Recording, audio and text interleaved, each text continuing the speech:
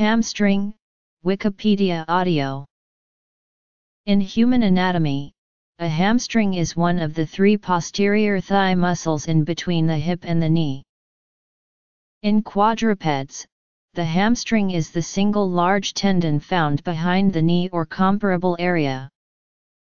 The common criteria of any hamstring muscles are Criteria those muscle which fulfills all of the four criteria are called true hamstrings. The adductor magnus reaches only up to the adductor tubercle of the femur, but it is included amongst the hamstrings because the tibial collateral ligament of the knee joint morphologically is the degenerated tendon of this muscle. The ligament is attached to medial epicondyle, 2 mm from the adductor tubercle. The three muscles of the posterior thigh flex the knee, while all but the short head of biceps femoris extend the hip. The three true hamstrings cross both the hip and the knee joint and are therefore involved in knee flexion and hip extension. The short head of the biceps femoris crosses only one joint and is therefore not involved in hip extension. With its divergent origin and innervation it is sometimes excluded from the hamstring characterization. A portion of the adductor magnus is sometimes considered a part of the hamstrings. The hamstrings cross and act upon two joints, the hip and the knee. Semitendinosus and semimembranosus extend the hip when the trunk is fixed, they also flex the knee and medially rotate the lower leg when the knee is bent. The long head of the biceps femoris extends the hip, as when beginning to walk, both short and long heads flex the knee and laterally rotate the lower leg when the knee is bent.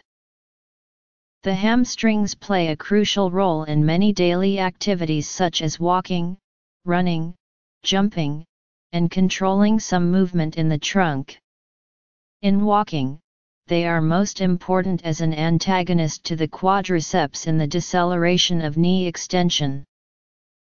Imaging the hamstring muscles is usually performed with an ultrasound and slash or MRI. The biceps femoris is most commonly injured, followed by semitendinosus. Semimembranosus injury is rare. Imaging is useful in differentiating the grade of strain, especially if the muscle is completely torn. In this setting, the level and degree of retraction can be determined, serving as a useful roadmap prior to any surgery.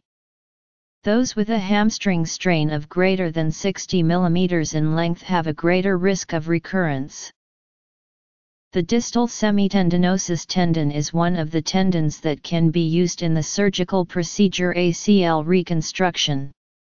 In this procedure, a piece of it is used to replace the anterior cruciate ligament. The ACL is one of the four major ligaments in the knee. Structure The word ham is derived from the Old English ham or ham meaning the hollow or bend of the knee, from a Germanic base where it meant crooked. It gained the meaning of the leg of an animal around the 15th century. String refers to tendons, and thus, the hamstrings are the string-like tendons felt on either side of the back of the knee. Function. Clinical significance. Imaging. Use in surgery. History. Etymology